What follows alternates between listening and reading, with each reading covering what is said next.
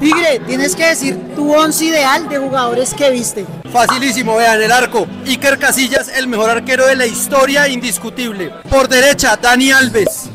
Ahora con dos centrales que son Sergio Ramos y voy a poner a Maldini, que no es central, pero voy a poner a Maldini, no me importa. Solamente para poner a Roberto Carlos por izquierda. Jugar con un volante de marca, un perro de presa, Claude Anaconda Maquelele, porque es que a la gente se le olvida que hay que hacer equilibrio y hay que marcar. Voy a jugar con dos abiertos, Ronaldinho y Messi. Voy a jugar flotando, Diego Armando Maradona Flanco sin compromiso de marca y adelante el fenómeno Ronaldo y Cristiano, no es más. Uy, no, pero ya mucho nivel. Pero usted los y los vi a todos. No, y ese equipo no inicia el partido y ya van 10 goles. Por eso, papayo. Y ojo, está equilibrado porque tiene buena marca.